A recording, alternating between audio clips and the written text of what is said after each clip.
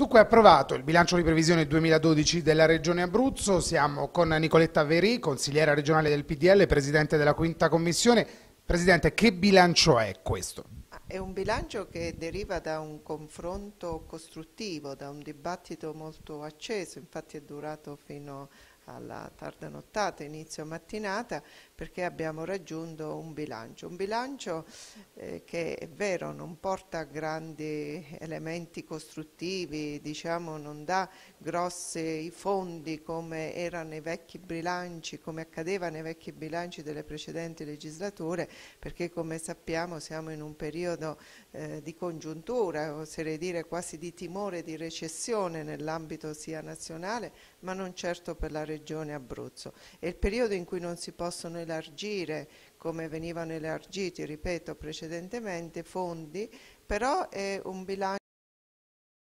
un bilancio oserei dire, famiglia che ha dovuto che c'era in maniera equa eh, sicura per quelle cittadini della regione Abruzzo. Abbiamo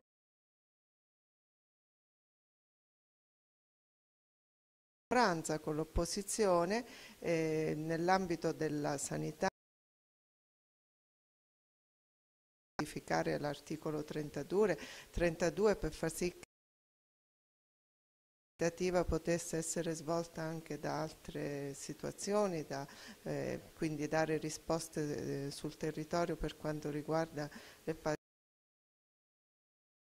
diversamente abili, abbiamo parlato di fondi per una migliore ristrutturazione del nostro territorio, quindi per una maggiore viabilità, abbiamo dato delle risposte ad alcune esigenze minime di alcune associazioni tipo il metodo Doman perché servono sempre questi fondi a queste famiglie. Sono stati diciamo, diversi emendamenti che hanno trovato un valido riscontro e una convergenza importante per i nostri cittadini.